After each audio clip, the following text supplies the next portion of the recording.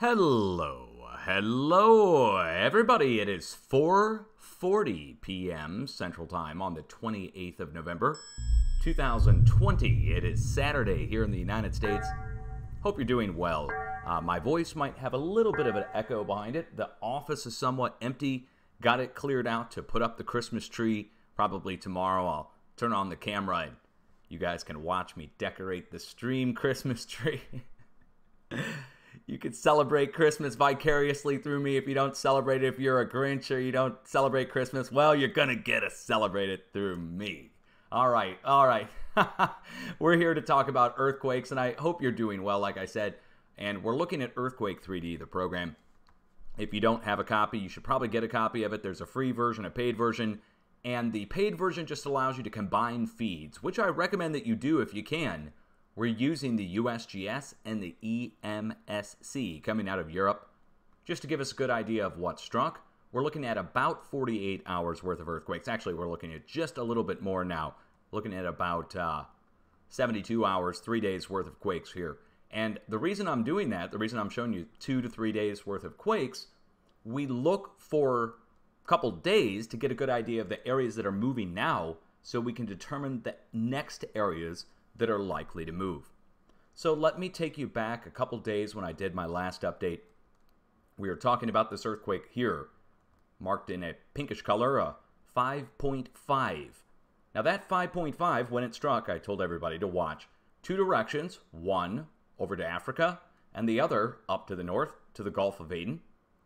So far, a spread of the same sized earthquakes 4.7, 4.8, 4.5, going all the way up to the Gulf of Aden, up into the Red Sea, and beyond all the way up into Turkey.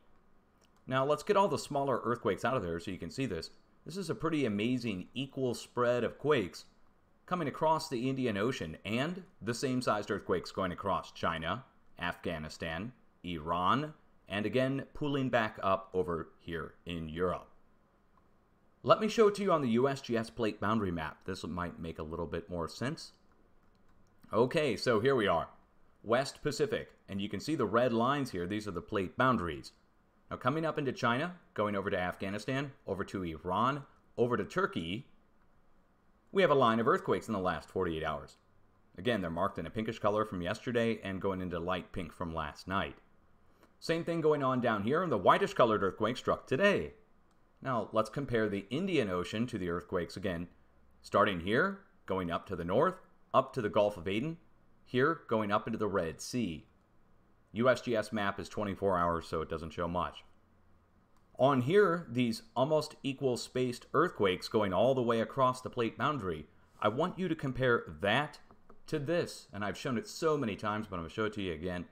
A spread, a standing wave going through a tank, where each wave is about the same size. As more energy gets pumped in, instead of it getting chaotic and jostling around, the waves organize into a standing wave.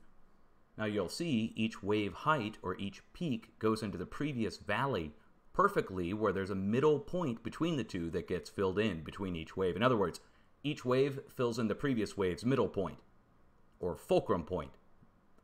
Now just remember that as the wave spreads through the tank, you see each wave gets higher and higher as more energy is pumped into it, but the same size spreads out across the tank.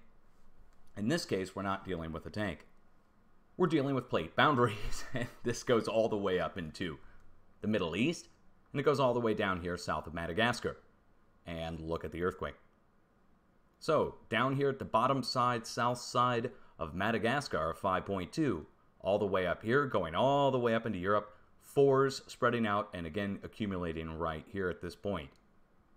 So I would expect the next step over to the west, the combined total of what's coming from this way and coming out of Europe or out of Asia going into Europe will combine and strike here east of Crete. So far, we've only seen fours. Those fours are actually from two days ago. So we're expecting it to come rolling in back into South Europe here pretty soon. But again, I just have to point out the equal spacing on these quakes is just phenomenal. It's a perfect example for people if you want to show them how seismic activity spreads out across a region. Now, people in Africa contacting me, I know, yeah, people in Africa contacting me, right? That's awesome in its own right as a video maker to reach people all the way around the world. Now, they were telling me that there was some kind of seismic activity reported in here in Africa, but I don't see anything reported by the USGS or EMSC. If you guys have any information on that, please shoot me a message or an email over at midwestgeophysics at yahoo.com, and uh, I will check that. And again, we'll try to get information on that. Now, let's go over here around Australia, but to see this, you have to actually look from a very far away perspective. The earthquake's going all the way around the plate boundary down to the south, up to the northeast, and back around to the north side of Australia. Compared to this, and you'll see we have a good match going all the way around on the plate boundary. So everywhere, oh, look at that, right in the middle of the area I was just talking about. Look at that. The middle point at the catcher's mitt in the Bay of Plenty in North New Zealand at 3.7 just struck at 2242 UTC. It's now 2246. So four minutes ago, right in that middle point, but it's just a small earthquake. We have White Island volcano right there. So that middle point just got filled in. But again, look at this going all the way around it. And we have to go over to the Indian Ocean and back up through the fracture zone to the north, connect back up to Europe, back across, down and around back into Indonesia and match it. Look at that. All the way around. Back up and down this way and all the way around and back down and around this way down south of New Zealand, back past New Zealand and back around. In other words, the whole plate has just moved in the last day and a half, two days, on at least a 4 to 4.5 basis, and that's a huge area to move in such a short period of time. So, what could push all of this? Going up to India, again, going up to China, back down and around south of Madagascar, going back down to New Zealand, and back over as far as Fiji? Let me carry on because really there's an area connected to this that also shifted. Look, our letter X, letter X hit. X marks the spot middle of the South Pacific. Now we can trace that fracture zone back to the undersea mount chain here which goes back to the north and connects right to where all of our deep earthquakes have come pushing in on the underside of the plate. Now let me show this to you again from the start of this video.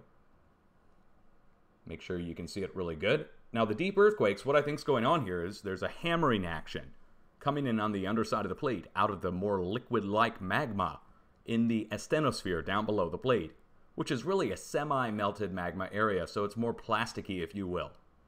And this standing wave forms in on itself, and the combined force of the whole wave comes into a singularity point, a spike, which hammers up and puts the full force of the whole wave up and into whatever's above it. And in this case, I think it's happening down below the plates, and down below the plates, we have the magma, which hammers into the underside of the plate with no gap in between.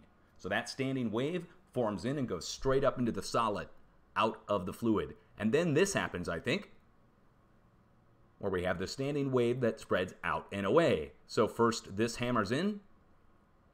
One more time, watch it. The full force of the wave focuses in on itself and hammers up since the fluid doesn't compress much, if at all. And boom, hammers in, then spreads out in a standing wave. Now, we're talking about a very low frequency here that this would be happening in, so I think that's what's causing it is a very low frequency being emanated out from even deeper down in the earth. The deep earthquakes are being caused by something. By the way, the deep earthquakes are raised high off the globe for easy identification purposes, and this is the past two to three days. So clearly something's going on down below the plate.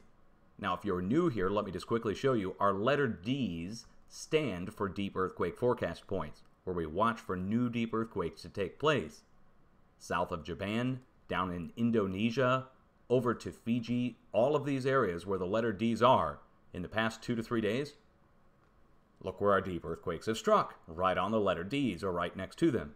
So something again is leveraging up on the underside of the plate here at Fiji, here at Indonesia, at the edge of the plate there, up at Japan, at the edge of the plate here, all the way around.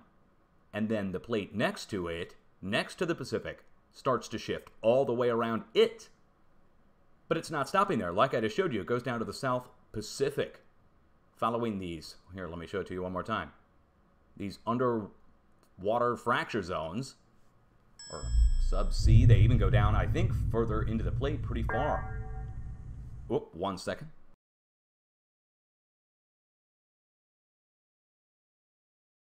Okay, apologize for that, guys. Got my cup of coffee here now. Ah, yes, room service. uh, thank the Duchess. Okay, here we go. So, going across the fracture zone, and we go back across, down across the Pacific. Look, same sized activity 5, 5.5, 5.7, spreading out down towards Chile. Then, to seal the deal, our other letter X was struck down here at the South Sandwich Islands, as expected. I issued the warning for this a few days ago to watch for the energy to come from the central southeast Pacific here, travel down and go down to the South Sandwich Islands in this trajectory. That just happened. So, the whole South Pacific, all the way over, really technically, into the Atlantic, and all the way over here south of Africa, has displaced in the last day. 48 hours if you really want to go the full distance on the time frame. So, in roughly two days or over a day, but under two, all of this has happened. Now, we get up to the north and we have another set of deep earthquakes, but in between, we have some areas that should start to move. Those middle points again. So, for instance, Taiwan. I have not checked the Volcanic Ash Advisory Center. Let's go see what's on the Volcanic Ash Advisory Center. I think a new volcano showed back up yesterday.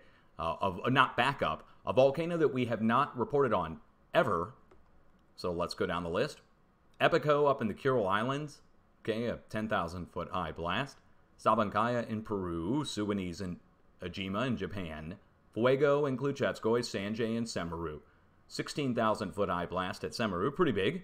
I'll show you where these are. But let's go get the volcano that's never been on the list the entire time that I've been streaming or making videos. Luo Tolo. Luo Tolo. I think actually the last eruption was 2012, so I was making videos back in the day. But 2012, I mean, come on eight years. It's been eight years since Luo Tolo volcano erupted. Let me show you where that is. All the way over here in Indonesia. It's coming in right over here next to East Timor. Here it is. Luo Tolo. And it might be Lewo Tolo or Liwat Tolo. Or I, am not going to try to even go look it up. It doesn't really matter the pronunciation. You can see the location. It is here in central eastern South Indonesia. South central eastern Indonesia. So we have another volcano, and that's Mount Semeru, which is erupting uh, over here. And we also have Mount Sinabung, which is also erupting all the way back up here two days ago. So we have a few eruptions going on across the area, but the new one on the list, the one all the way over here, Semotolo or Luotolo, that is something we have to pay attention to when we see a new volcano pop off. Why? Well, it means there's energy in the area of Indonesia, enough to set off a volcano that doesn't normally go much. So all the regular suspects are going, like Dukono and Semeru and Sinabung. But you throw in a new one, and it's right in the middle in between all of the other earthquakes that have struck in the last day. You have to take that into account that there's something going on right in here on the plate boundary, which could be leading to a new large release. Now, I would look between our current sets of earthquakes, and it's a jumbled mess right here in the middle north of Indonesia, but we have a big open area with Bali centered right at the center of the giant open area here, about a thousand miles across or 800 miles across. We have a 4.6 and a 4.4 and a 4.5. Or how about this? 4.4, 4.5, 4.6 on one side of Indonesia, and on the other 4.5, 4.6, 4.7, 4.8, and some deep earthquakes. Plus a new eruption at a volcano that doesn't normally go. That would put a lot of stress up on the underside of the plate here, where the red lines are. And with all the other activity, another way to look at it, that that's the dead center of the whole hot mess on the edge of it, I mean the edge of the center of the whole mess all the way around. Let's go back and look at the plate boundary from a great distance. That if we're moving all the way around, up, back, down, and around this way, that this really is sort of the center of the edge, or the edge of the center. And that's where the new eruption is. So it's a lot going on. And I haven't even gotten into Europe yet. We're still in Asia and the West Pacific. This is going to be a long update. So, going over into Europe, we spread out into South Europe where we've gone quiet across Italy. Now, up into the north part of Europe, we have a bunch of threes up to 3.8. Even the English Channel was hit two days ago. We also saw activity go out towards the Azores a few days back. But let me show you the plate boundaries in Europe. Look at Italy. Do you see the red line? You see what it does? It goes up in dead ends into Switzerland or the south point of the Alps. There's an open area across western and south central Europe, across Spain and France. But the plate boundary dead ends up into the mountain range. That's, of course, the Alps. But back down across, we expect seismic activity to take place back down across all of Italy. So it's pooled up here, back in Greece, where we had our seven point something earthquake and tsunami, as well as a bunch of fours and fives spread up into Central Europe right here by Bosnia and Croatia, fours going up into Poland, fours going up into Switzerland, but it's all been stuck back here.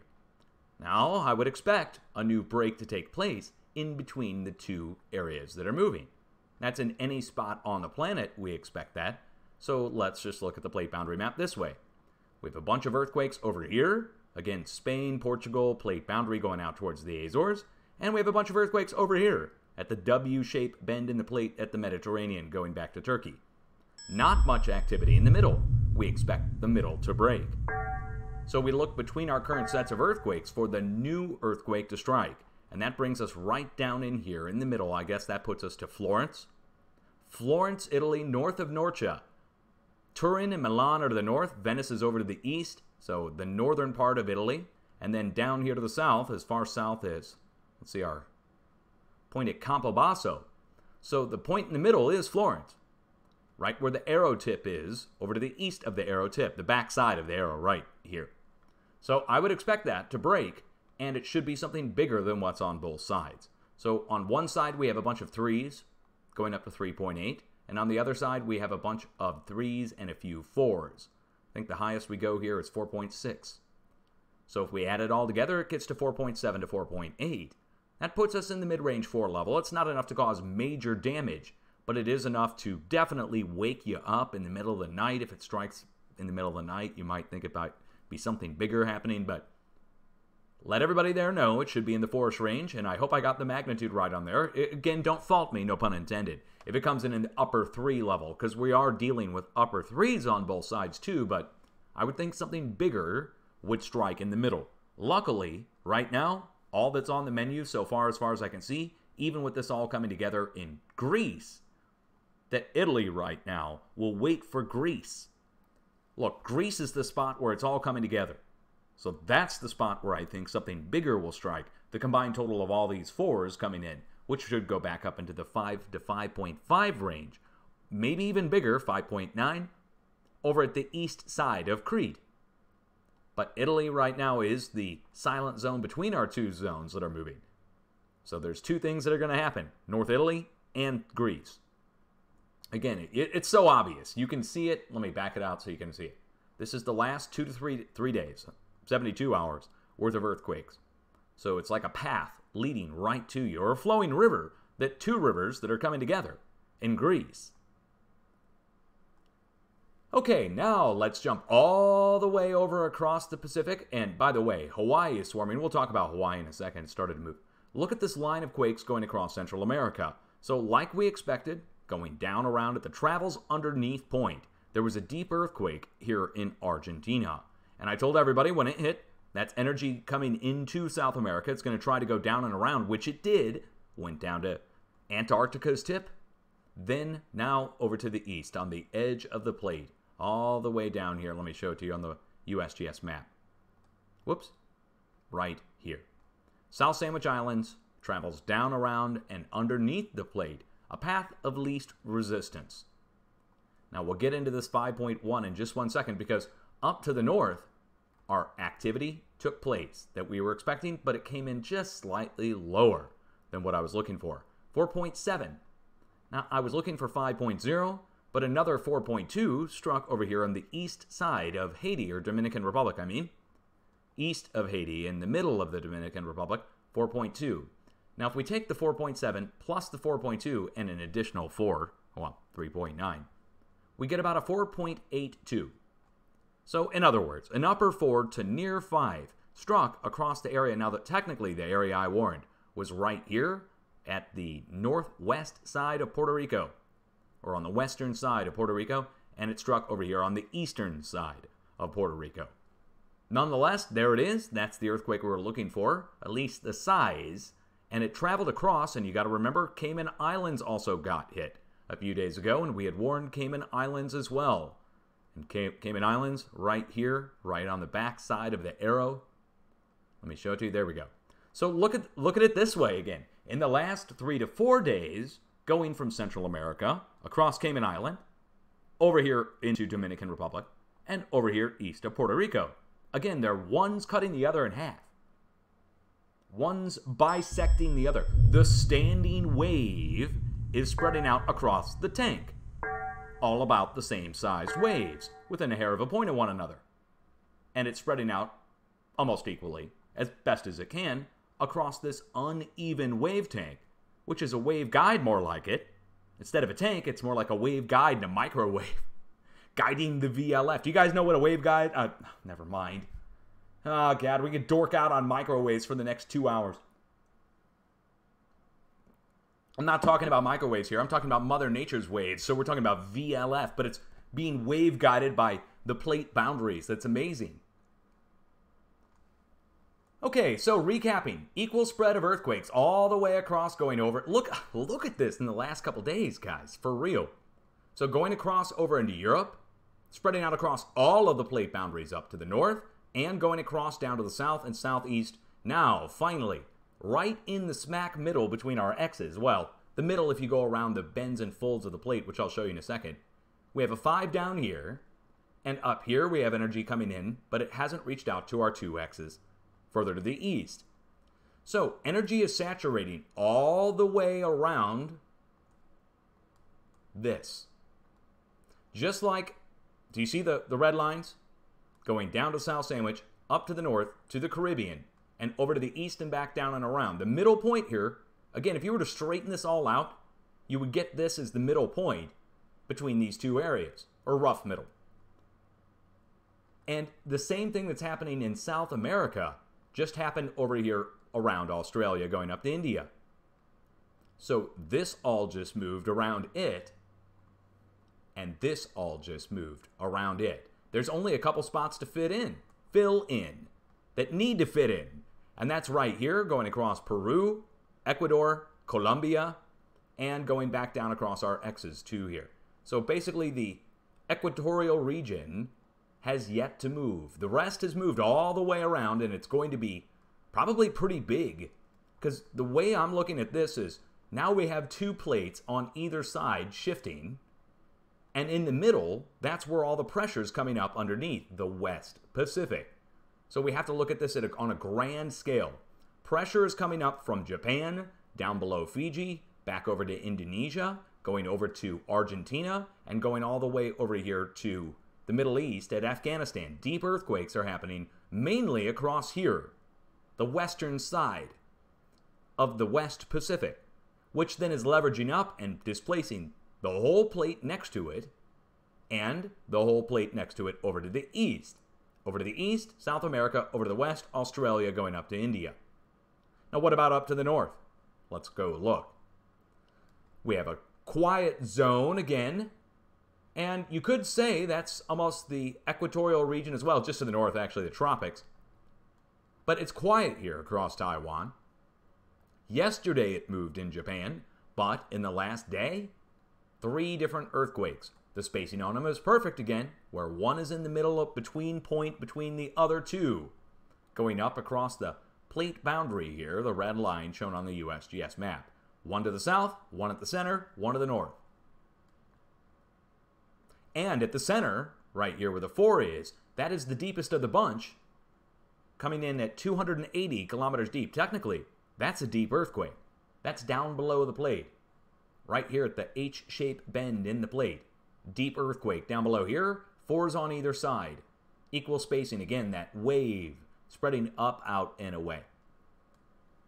Up to the north, our bigger of the bunch, the biggest is the 5.3, and then spreading out away from the 5.3, following the plate boundaries all the way over into Alaska, 4.0, 4.5, 4.6.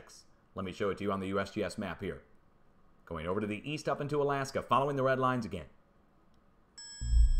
New eruption right in the middle of this whole hot mess, right next to the 5.3. Let me zoom in and show you. Mount Ebico, Ebeco, Ebico, right on this little island right next to it at the south tip of Kamchatka. Additionally, Klyuchevskoy volcanoes erupting on the Kamchatka Peninsula. The others, like Shiveluch, they stopped. Karimsky, haven't heard from it. Bezymianny, what? Now that was the one that put off the 50,000 foot high blast last year. So where are all those? Well, instead, we get a 5.3 right next to Mount Ebico, which just erupted. So again, taking one more look at it, it's an equal spread of earthquakes going up across the Izu Ridge, coast of Japan, all the way up here, and then the biggest of the bunch, like throwing a pebble in a pond and spreading out same size in both directions. One more time, look at this. Pebble in a pond, you're throwing a rock in, in the water. That's where the splash occurs, the biggest of the bunch. Then equal spacing out in each direction. Look, 4.0, 4.6 up towards Alaska. Let me highlight them for you. 4.0, 4.6. And then going down to the south, 4.5 and 4.0. So wouldn't you say a 4.0 and a 4.6 and a 4.0 and a 4.5 are two of basically the same sized earthquakes on either side? Yes, they are. Now, yesterday, a 4.5 struck here right next to Anchorage. Now we get into the craton here and the edge of the craton, going up to the accretionary plain and the coastal plain, basically the edge of Laurentia, the edge of the North American plate. And we can look at it on the USGS map here, and you can see they have some faults marked going across Alaska on the interior. Again, it's, it's the edge of the craton, guys. So the earthquakes come off the thick red line and jump into the plate. In other words, the Pacific plate is transferring this energy across the red line, and the red line is the plate boundary. The plate boundary transfers that energy into the plate, and the plate tries to absorb it. But the plate acts like a wave guide again. It's guiding those waves of very low frequency down along the edge of the plate, down into the northwest of the United States, coming in from the northwest, going across the plate. Now, before we get into the northwest United States, like I said, Hawaii is swarming. Hawaii, smack in the middle of the Pacific plate, we have fracture zones that go across the Pacific plate. Look at it this way. Do you see the fracture zones? They're east and west facing. They almost look like ladders on a, well, rungs on a ladder or latitude on a map. Fracture zones east and west. They go up here to the north. They're almost equally spaced, wouldn't you say? Now look where they go to. They go back across and meet up with this undersea mount chain of volcanoes that really it goes down around and curves like a letter C into the south point of Peru. And these undersea mounts, this is Easter Island right here. And we go back up and it curves up to the north, these undersea mount volcanoes, the whole chain of them. Everywhere east of there, we have our fracture zones going over to Leviathan. By the way, people think that's like some kind of natural feature. No. That's like one of these old world maps, guys. My buddy who made this for me, the graphics, uh, or at least the coloring on here, animatronic, he put that on there for us. Little, little joke. I told him to put some old world sea monsters on the map. You know. Okay. So going up to the north, we have our undersea mount chain of volcanoes, and they meet up with the Hawaiian Island chain, which then together both go back up to Kamchatka. So you got to look at this from the greater view. Coming off of Kamchatka to the north, going down and meeting up with the Hawaiian island chain that branches off, goes out to the middle of these fracture zones. The undersea mount chain carries on further to the south and makes a letter C shaped bend into South America. In other words, this cuts the whole Pacific in half. This undersea mount chain. Everywhere east of it, we have these fracture zones. There's one spot where the fracture zones really come through this letter C shape, and that's right here in the middle of it. So, in the middle of this giant letter C shape, it goes back across and meets up with where all of our deep earthquakes are taking place. So that hammering action, one more time, let me show it to you so you can really remember it. In the circular motion here, coming in on the underside of the plate, focusing in on the underside of the plate. Then it spreads out and across the plate. Once it gets to the middle of the Pacific, where the USGS has nothing, it spreads out even further and tries to equalize. And hence we get the equal spaced fracture zones across the east side of the Pacific because everything over here is upwelling pressure pretty much, coming up, and then it spreads out and across. Now, Hawaii, sandwiched right in the middle of it, right next to the spot, well, to the north of the spot where the energy comes across. Now, if the push is big enough, for instance, we get a lot of deep earthquakes here on our letter D, and we get a lot of deep earthquakes here on our letter Ds, and we get a lot of deep earthquakes here on our letter Ds south of Japan, then in the middle of the Pacific plate, things start to increase pressure wise. Now, what kind of pressure am I talking about? I don't even really know, to be quite frank. I call it a seismic force. It's the force that causes earthquakes and causes eruptions. It's a tension of some sort that develops in the plate, and I think we found the cause. The deep upwelling pressure coming from down below the plate from VLF, which is being emitted from the core of the Earth, which is vibrating like a giant bass drum. And there's only one thing in Mother Nature that's big enough and powerful enough to create a large electromagnetic field and vibrate like a bass drum, creating very low frequency. And that's plasma, just like up in the upper ionosphere. But anyway, let's go zoom in on Hawaii and see where all the earthquakes are taking place.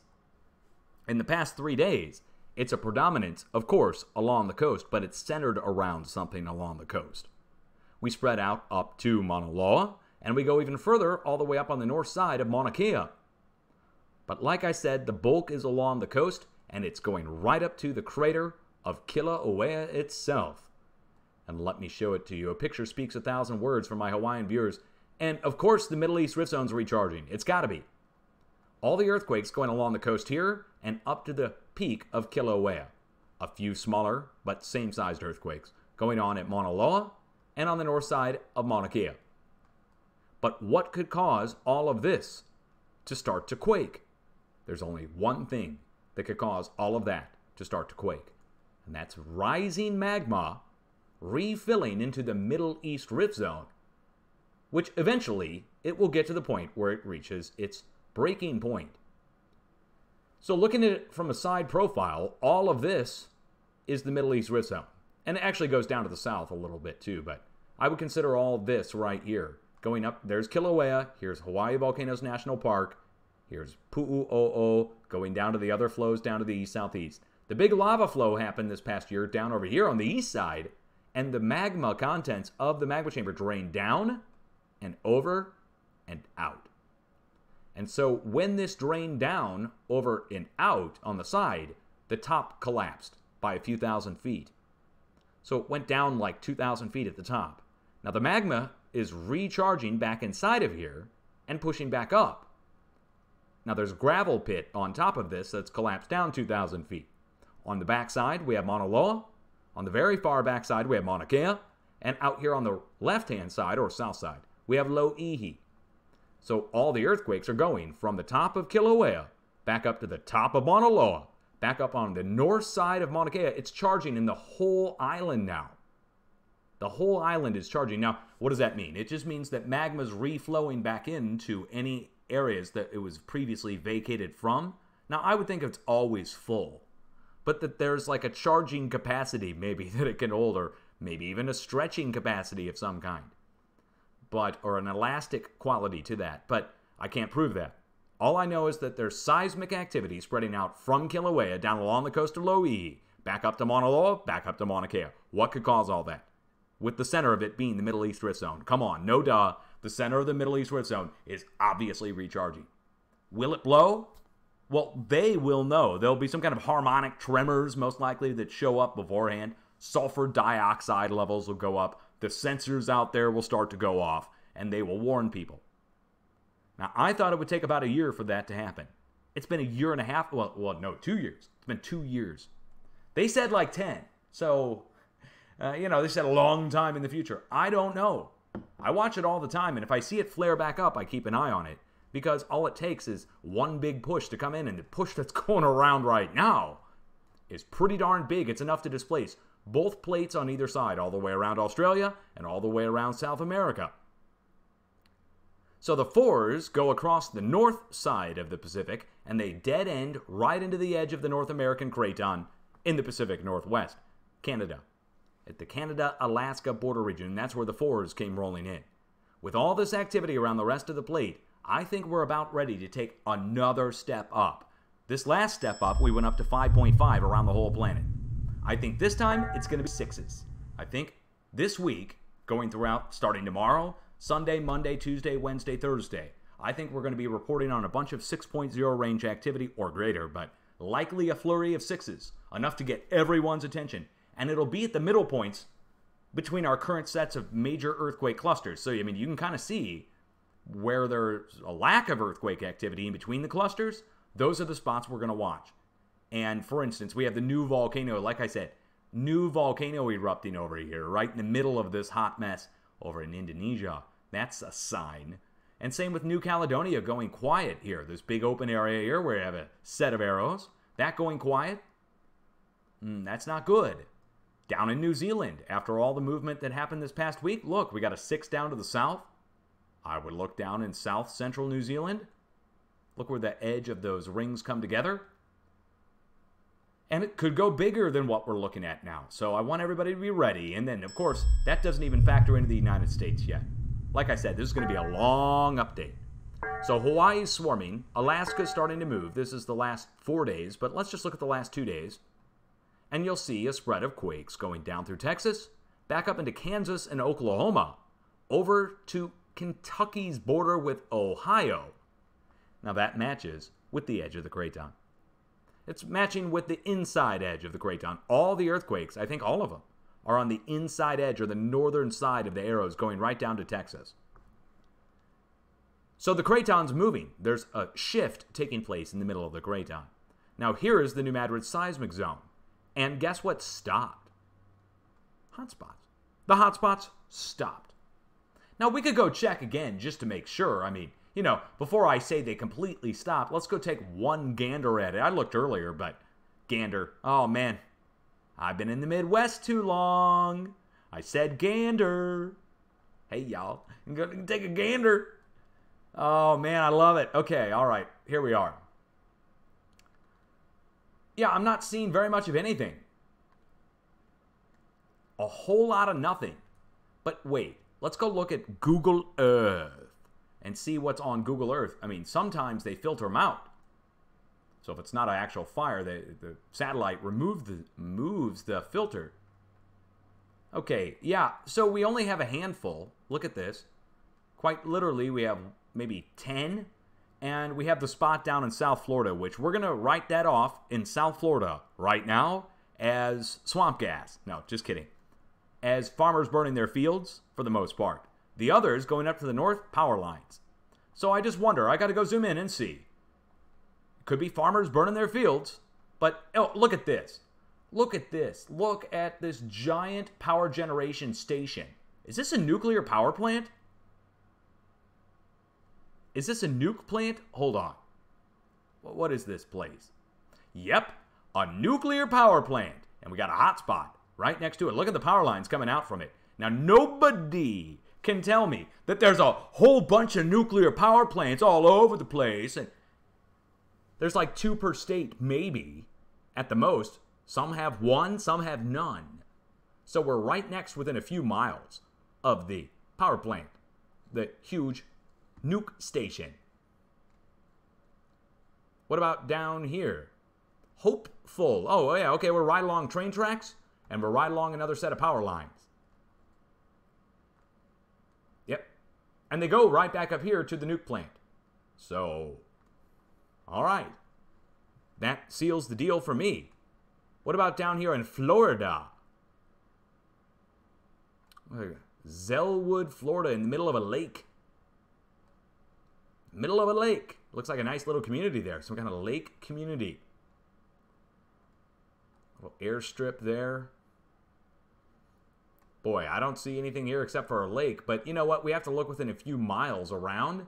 And this gets into, you know what? My buddy Tattooed down in Florida, he lives right down in Jacksonville. He'll know what this area is. He's probably even been, he probably has been there. Orlando, isn't that like Disney World right there? All right, but what I'm trying to show you guys is there's nothing. There's like a handful down here to the south in the south, right? Now look, once we go up to the north, look. Do you guys see what we have going on up here to the north? All of a sudden, across Iowa, going up across Minnesota. Is that Minnesota? Yeah, we're in Minnesota, South Dakota, North Dakota. Now I need to zoom in and see what's in Iowa here and just take a look. Swan, Iowa. Man, we got rivers. We've got rivers and a few roads. And a set of train tracks. See, this train track stuff, VLF, very low frequency.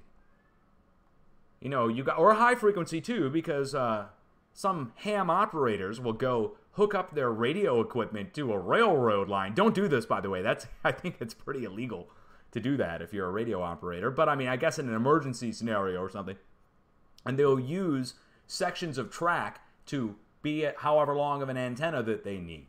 And you can pump a lot of power into it without melting it. All right, let's go down here. Yeah, you put too much power into your antenna. Guess what's going to happen to your antenna?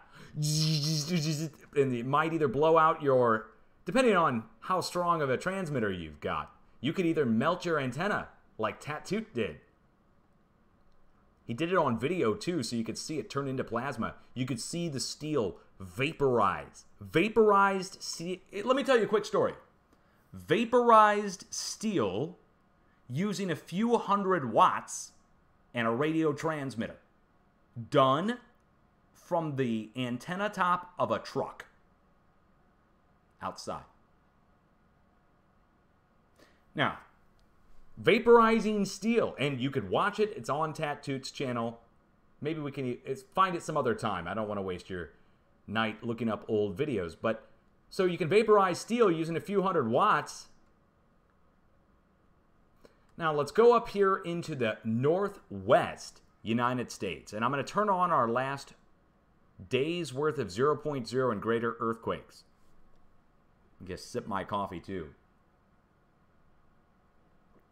I've got a meowing cat. We've got a cat, and she's very serious. Extremely serious. You know what? Let me go tend to this. Hold on, guys. Hold on. Wednesday. Wednesday, come here. Come on. I just have the door shut because I thought you didn't want to hear me, girl.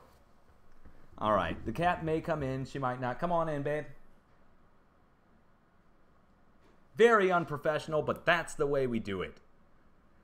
So, looking overall on the West Coast, we go in here into the Northwest and we have a handful of earthquakes. We have a 0.0 and a 1.1 and a 1.5 out in the Puget Sound, right on the edge of the Olympic Peninsula. So, let's go look these up, though. I want to see where these earthquakes are. And then we have to check something else we have to check the tremors. Now, the tremors are not exactly earthquakes, they're vibrations as the plate shifts. But right now, we're looking up the quakes first. The, the, quakes are fractures in the plate that are happening at a fault or next to a volcano or next to a power line that's being precipitated by electrons coming out of the power line or going into them. But on this, we are on the side of Mount Rainier. So this earthquake coming in right on the flank west northwest side, Mount Rainier. We were in the crater down below it a few days ago.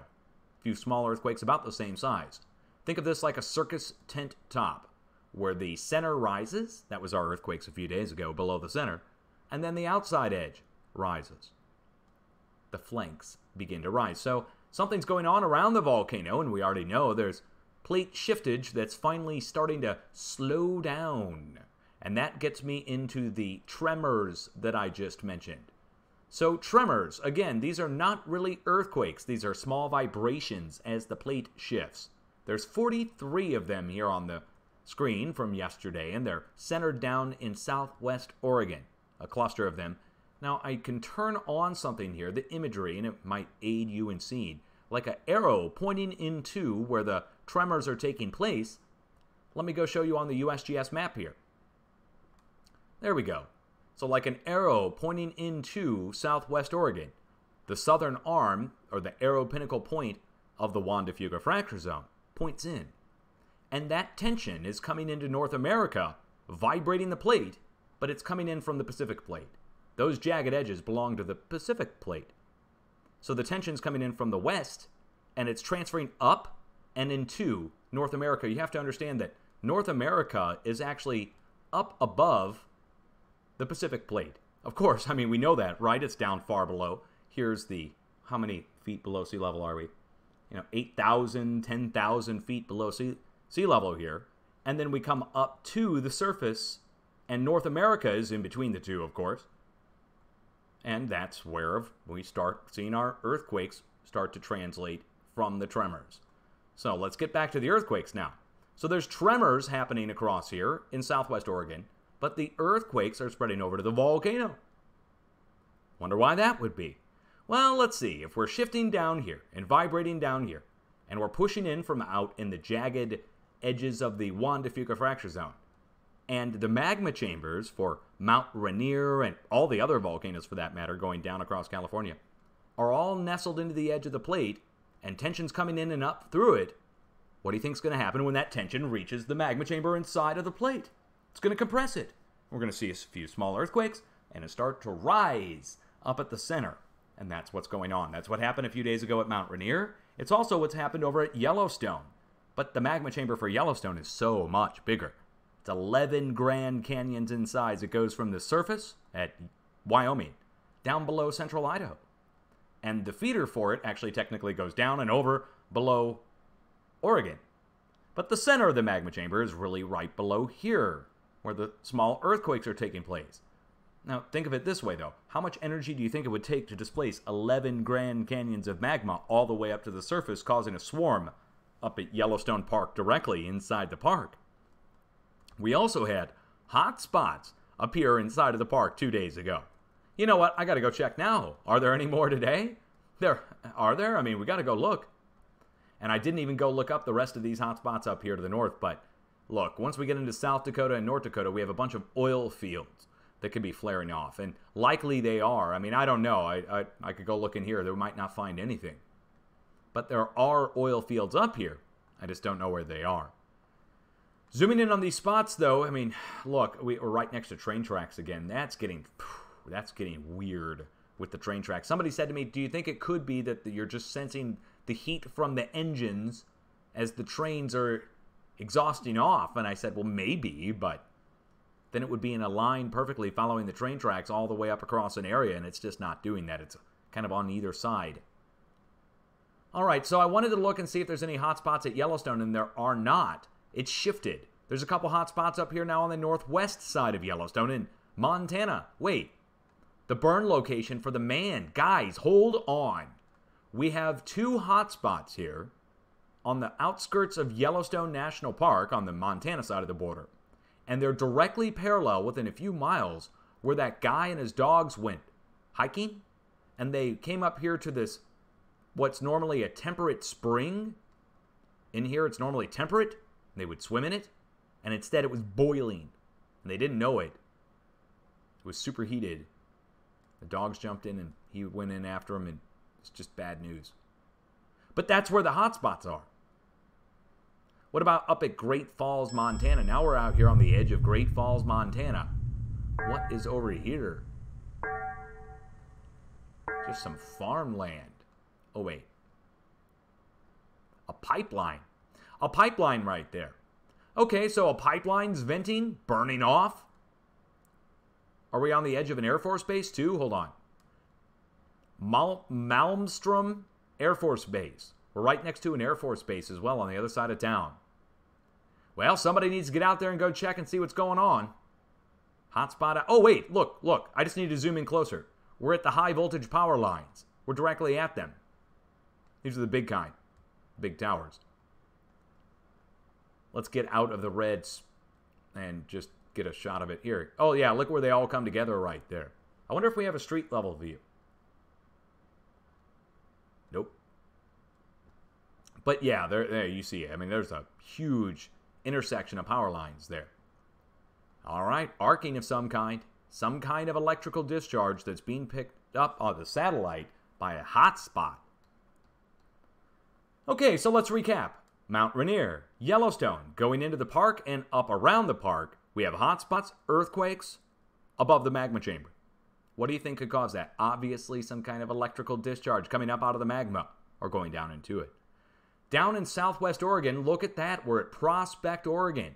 But I do recall seeing that just on the map here. Look. This is right where the tremors are, isn't it?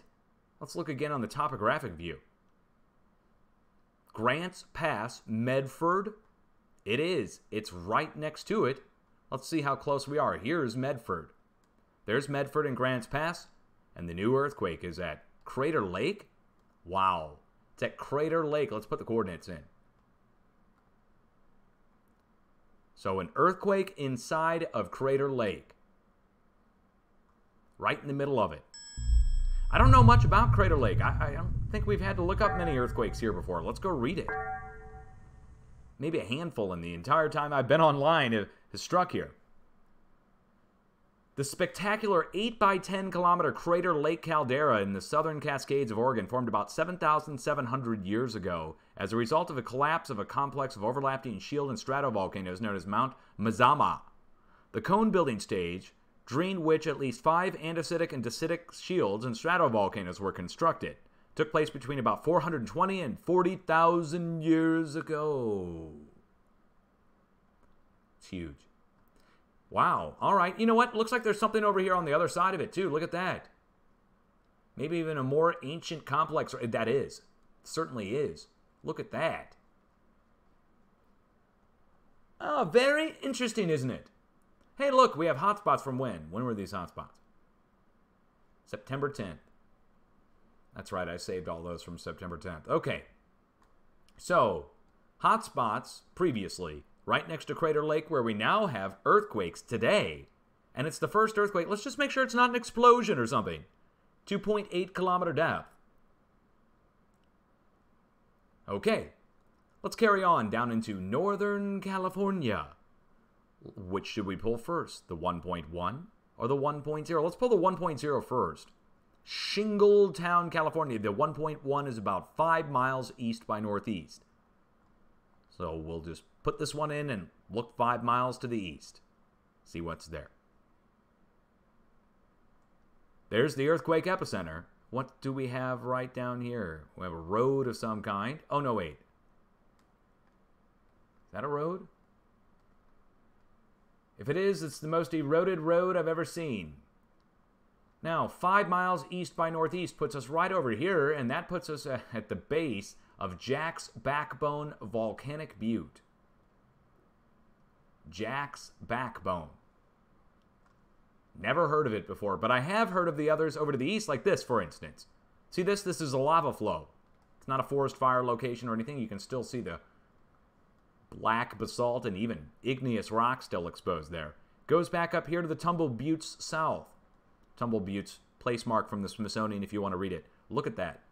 Through the woods. A line of cinder cones along a north northwest to south southeast trending fissure has produced a series of youthful looking lava flows. The most prominent of these is Devil's Rock Garden, a thick, blocky, andesitic lava flow. Andesite? Big. Okay, and our power lines of, or something, again, I would think these are the power lines, but it could be a pipeline of some kind. They could be buried power line, maybe, but it's not a road. And it just goes across the whole county and goes up and connects up to the north. I'm, I'm thinking pipeline. Let's see. Oh, yeah. Yeah, it's a pipeline. This is a station. They have solar panels for, I guess, emergency power or something, or maybe they provide all the power there. There's the pipelines. Okay, so the pipeline's going down next to the spot, which is even more interesting. I wonder if we have any other hotspots or anything else nearby. Across the north tip of the valley, we do. Okay, we'll get into that in a second. So both earthquakes are on the side of a volcano, basically. Same with this earthquake up here in the middle of Crater Lake. Same with these earthquakes here in Idaho, above the deepest part of the magma chamber for Yellowstone. Going up into the park actually at Yellowstone, then going up next to the hot spots up in Montana, and Mount Rainier getting hit. Not to mention Oregon still shifting with 40 at least tremors from the slow slip. Now, down into western California, northwest California, the geysers at Clear Lake still moving. Geothermal field here where they drilled in to get steam. And I'll just show it to you. I show it every day almost, if not multiple times a day when I do my updates. This thing's constantly moving and it's constantly shifting, but they've drilled into it so many times. There's a bunch of drill points that go down a few hundred to a few thousand feet into the volcanic field to get steam to turn the turbines here. And the turbines and electrical generation again on the side of Clear Lake, volcanic field. And that's where the swarm is. Now, the number of earthquakes here is actually starting to go back up a little bit, and the magnitudes are leveling off in the mid range, 2 level. Up to the north, it's all ones and zeros. Now, I would call this low. The amount coming in here right now, while each volcano is getting hit, it's low. We're looking for something to release out here in the ocean now that the slow slip is slowing down. The slow slip has been going for like two months almost.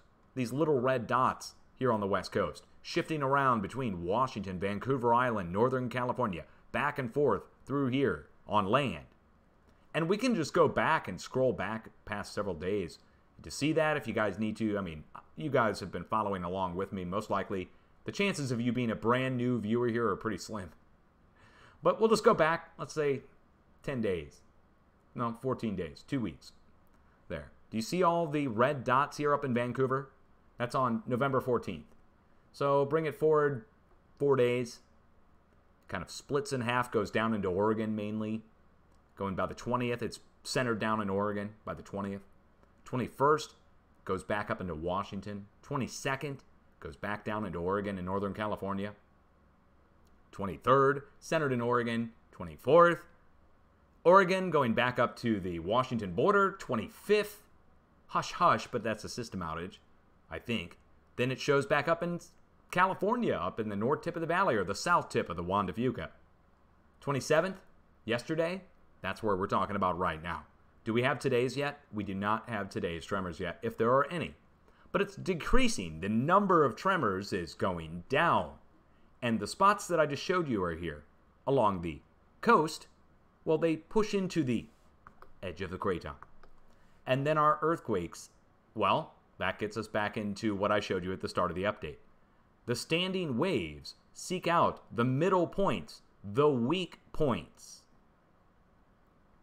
So the standing wave, the equally spaced quakes, spread out across the zone, which is the red line, the thick red line. Once it gets into North America, it tries to spread across the plate, and it follows the edge of the craton, path of least resistance. Now, looking at California, you're going to see a line of earthquakes going right down along the coast. Pretty obvious. South of the Bay Area, down here along the creeping section of the San Andreas, we go down here to Parkfield, but then we jump out into the ocean Look at this. At Lompoc, California, we jump out into the ocean for some reason. Let me show you what's there. Two things are here. Two interesting things are here. One is something I've shown previously, the other is something I noticed a few hours ago. So, first, I'll show you what we've always seen in the past when we look down here.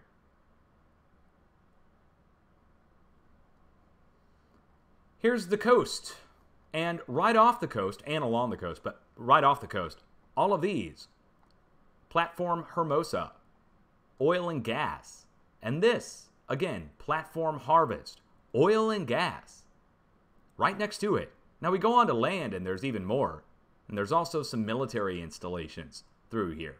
But going up and around, I think that's the Air Force Base. Up here on the north side, all of these. I think these are. Wait, no. Do I have them marked? Ah, on the north side up here. Hey, wait a second. We have a hotspot. Guys, we've got a hotspot out in California. Oh, wait, look where it is. Look where the hotspot is.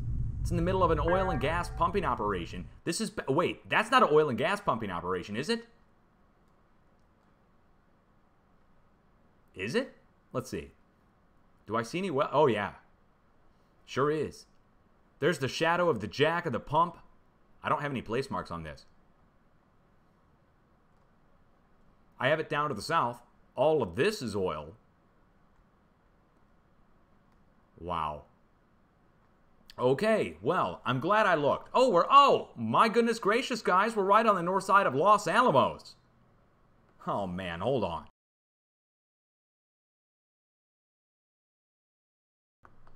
Okay. Look, I just got done freaking out for a second. We're on the north side of Los Alamos. I'm about ready to get shut down by the government or something. We're on the north side of one of the most famous locations. Hotspot, good fire pixel, 572 Kelvin. Let's let's go convert Kelvin to Fahrenheit. K to F degrees. And what was it again? 572 Kelvin. 572. It's 500. There, it's about the same. 569.93 Fahrenheit. And that's okay. I got to go look it up now on the actual satellite. So we have a fire pixel there. We've got an earthquake there. We've got an oil pumping operation there. I, and it's California. Oh, go ahead and shut it. All good. All right, sorry guys, talking to Duchess. So here's Lompoc, and the hotspot's somewhere right up in here. I guess I need to go to the next station to the north. Oh, of course, they have a cutoff right there. No way. They've got it cut off right there. That's hilarious. All right, well, well let's see if we can see it this way. Yeah, oh, whoop. Oh, look. Hold on, look. They wide it out. Ha! They wide it out. And then it, it appears right there. Uh, maybe it appeared the first time and they widened it out. Wow, censorship wide again. What are the Oh, let me guess. They're going through another equinox. Just an equinox we never knew was going to happen. Second equinox, you know, it's like 11Z's. Okay, down here, Lompoc.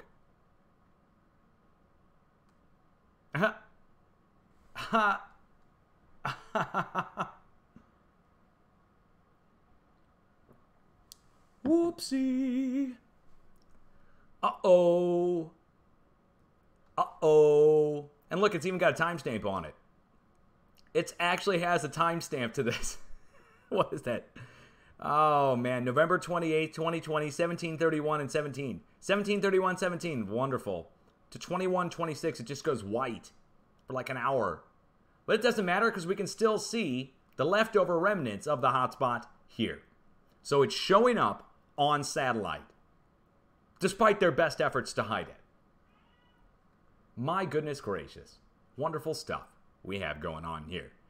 Hey, what do you got to be? Sherlock Holmes or something? Elementary, my dear Watson. Hubba, hubba, hubba. Let's go up here into the California Nevada border and go look what's at Mammoth Lakes. Well, let's see. If this holds true with everything else that I've shown you in the update, there should be something of volcanic significance at Mammoth Lakes.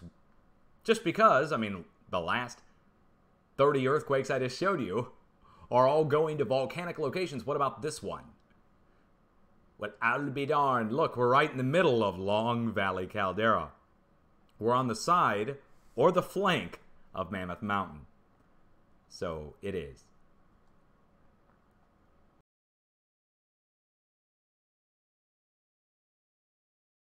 Excuse me one moment.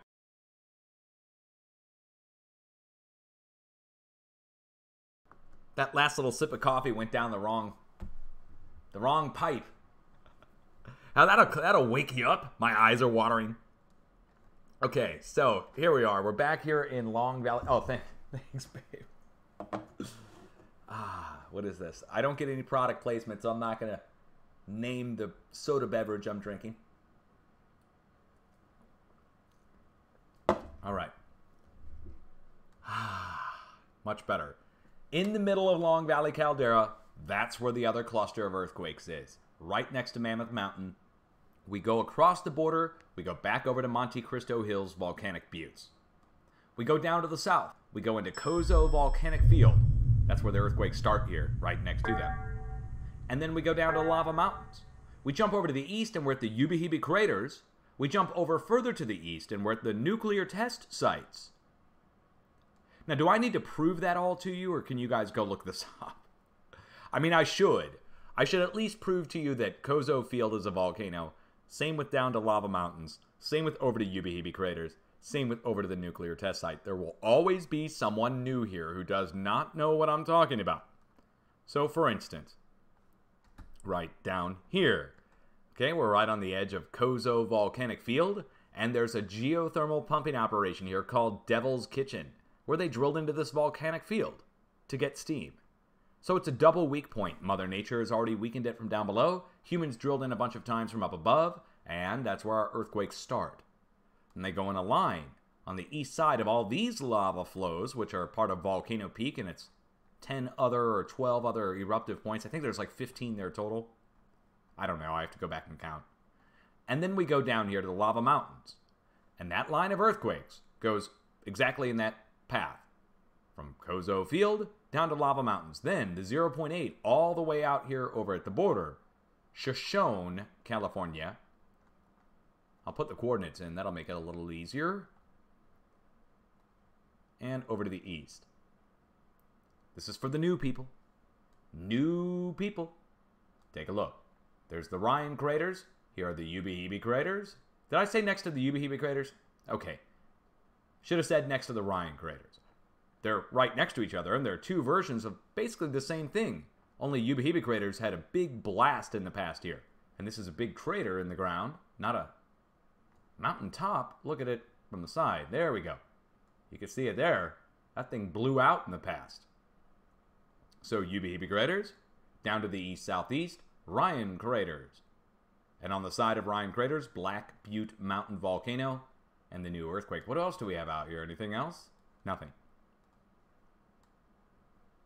Ryan craters. Then over to the nuke test site. I've shown that so many times. It's Doomtown. Here's the earthquake epicenter here is Doomtown.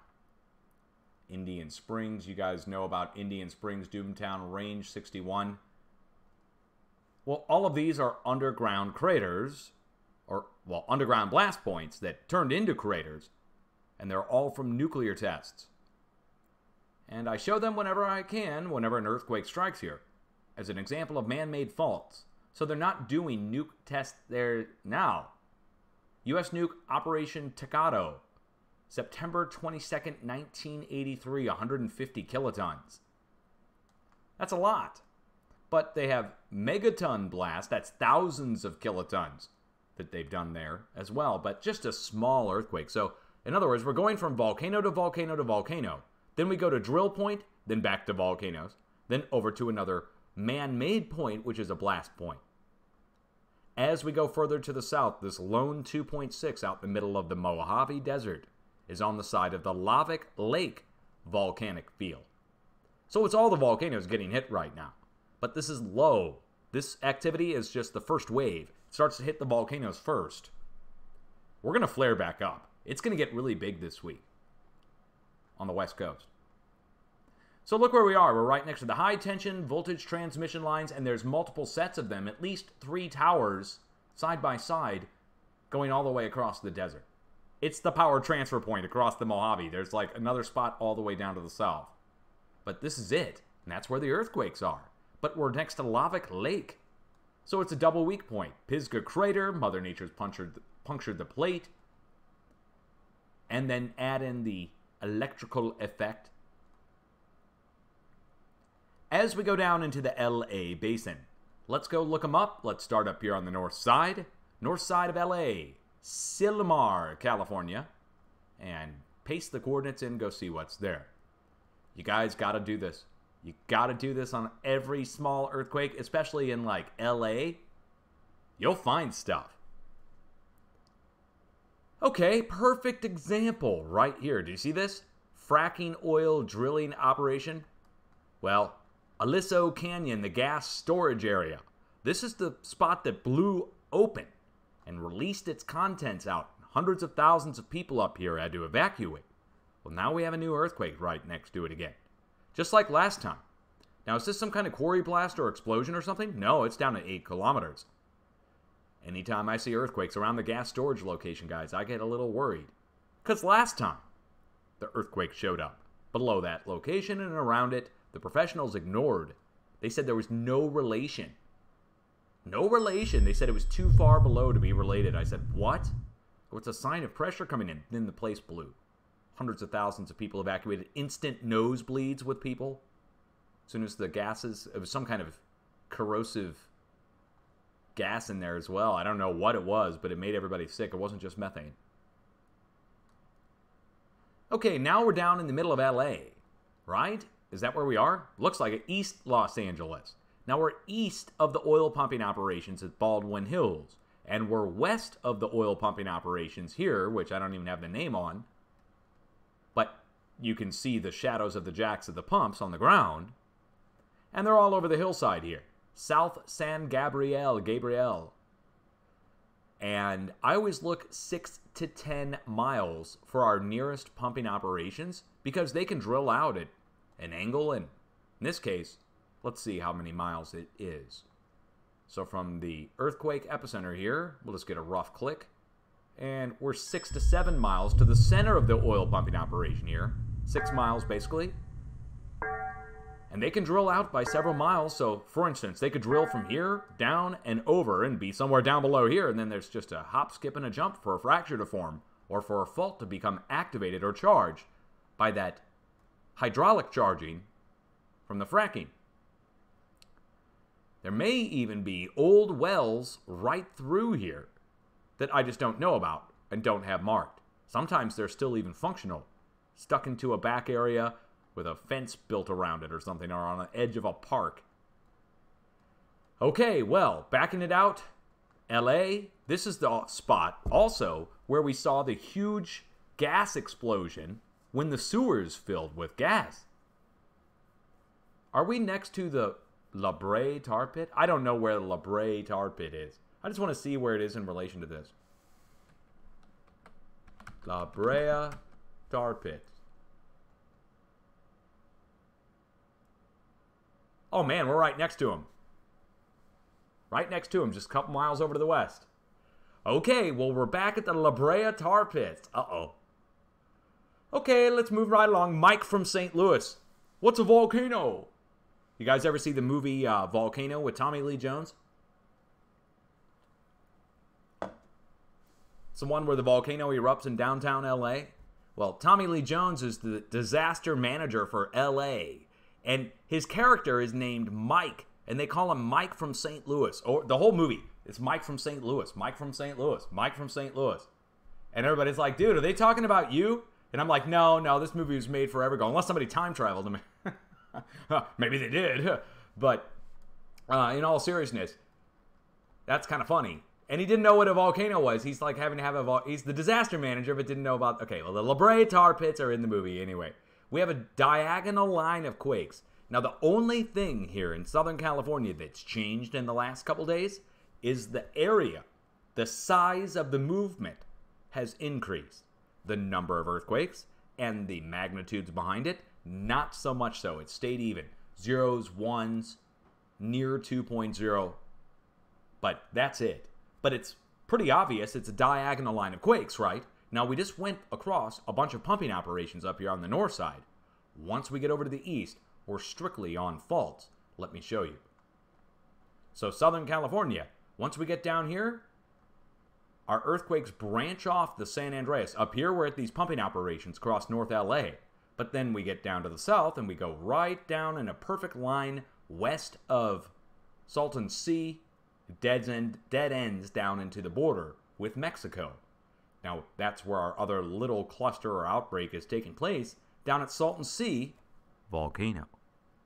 Right down to the border at the geothermal pumping operations. And I can show it to you if you don't believe me. There's a volcano in Southern California on the side of Salton Sea. There's people that don't believe everything on the internet.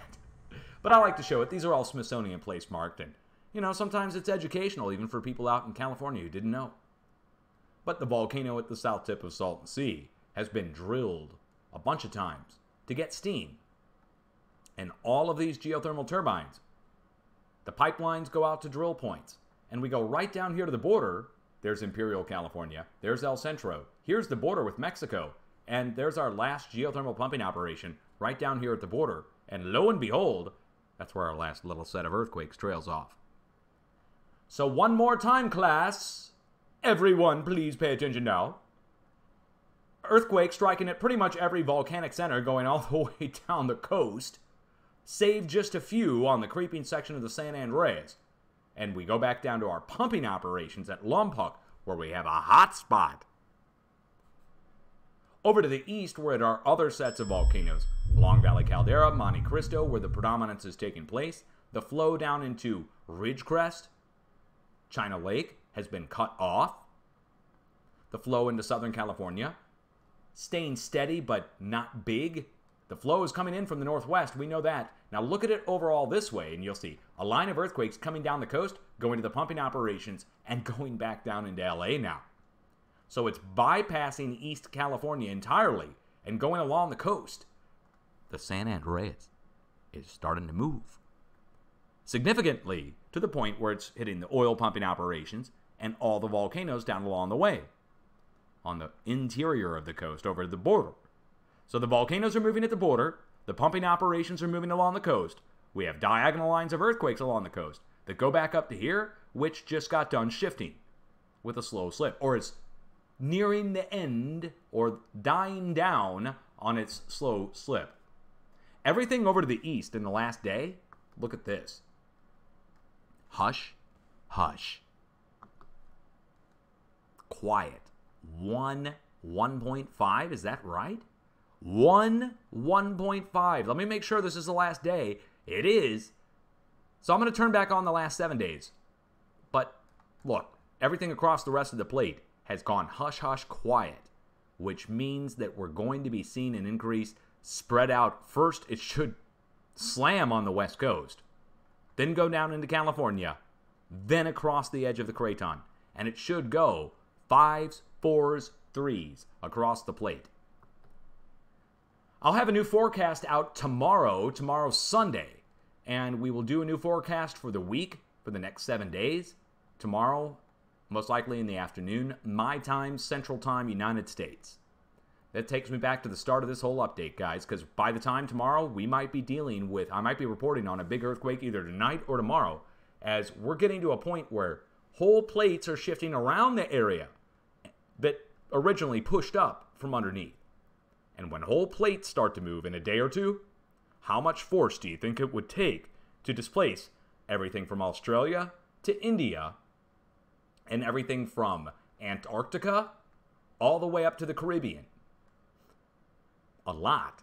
In a day's time, two days, please. It's a lot of energy. I mean, it's unfathomable how much energy that would be. So that would mean the areas between the areas that are moving are going to be filled in with larger earthquakes. And I think it's going to be going back up in the six range over the next several days, and maybe bigger over here on the West Pacific at Indonesia, where that new volcano suddenly showed up. Oh man, what an update. That's a long one. That is a long. Oh, uh, Africa.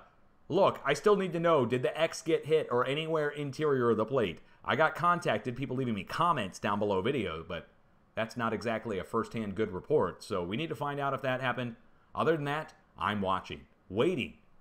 As soon as that big one hits, I'll jump back on. We could go back up into the 7 range in Indonesia. Sixes around the plate are due. Middle points between our sets of earthquakes, and tomorrow will be the forecast for the whole planet. Do you have an earthquake plan? Do you? Do you know what to do when an earthquake strikes? I guess is the best question I should ask you you should at least think about what you'll do if an earthquake strikes. Now, I had somebody actually chastise me. It's a critic who actually, eh, you know, is an unreasonable critic. Uh, you know, you get those all over the world. But this person sent me a private message telling me that it's bad to tell people to go outside during an earthquake. And I'm never talking about going outside during an earthquake. I tell people to shelter in place underneath a table or a desk. And if you don't feel confident that your structure is going to survive, that's when you would be mobile to get outside. And the USGS has a whole thing on this, as well as the Centers for Disease Control and Ready.gov and all the other sites around the world. If you go look up their earthquake preparedness plans, they recommend that you have a place picked outside to go to to congregate right after the earthquake in case you're not confident in the structure that you're in. You're, of course, supposed to take immediate shelter. I've said this a thousand times, I'll say it a thousand and one. Running around and screaming earthquake is pointless. Everybody already knows that an earthquake's happening. You don't have to run around and scream it. It's better to go find a table or a desk immediately and get under it and wave at the people you see running to get under there with you. Or point to one and say, get underneath a table or a desk. Now, that's not going to stop a collapsing building. Like I said, so if you're not confident in your structure, let's say you're in a brick or a cinder block building, okay, well, you might be in a big enough earthquake where you need to immediately exit the building. Whereas a person next door to you in a wood frame building would be just sheltering in place. So if you're going outside, you need to have your areas pre picked like a fire drill. You would know where to go. And this is the recommendations from the USGS, the CDC, Ready.gov, etc. I'm taking the time to say this because somebody actually said that you shouldn't go outside. And that's not true. I would suggest staying inside and trying to weather it out, and that's why you got to have a table or desk. And you can even get one at Goodwill, or you know, most people have friends and family who are trying to get rid of this old furniture. you could probably get something from friends and family if you really didn't have anything to get underneath. So it's just a suggestion. Now, the more important point on this is preparedness. You need to have an emergency kit because whether you stay underneath the table or desk or whether you go outside, you're going to need a few supplies if the power is off or if you're cut off without help for a fair amount of time. I've recommended everything from food and water for a few days to flashlight, batteries, communication. You could even do something as basic as a whistle. You know, a whistle, if you're trapped, screaming is going to be wasting so much energy, and if you only have a little bit of water or maybe none at all, a whistle can be heard further and it can resonate through metal, whereas a voice doesn't. Just think about it. And it can go through small pockets. A whistle can be heard more and it's easier to operate. So you might want to think about that in your emergency kit. And the other things uh, sanitation, medication. And you will think of so many other things to put in there. I'm just getting the ball rolling. Okay, now I'm going to save this as a video. We will save this and put it out over on YouTube. So you guys can watch it back, and I'll premiere it back within, let's say, about an hour, hopefully. We'll get it playing over on YouTube. So we'll be back if anything else goes down. Word up and much love to everybody whose name is scrolling by here on the side, and of course, all the people who watch. You guys, thank you so much. Everybody on Twitch, you've made a huge difference. Massive difference in the way that this information is received and whether or not I'm here, you guys are still sharing info, and that's becoming a community of seismic aware people that share information amongst each other. It's needed at this time.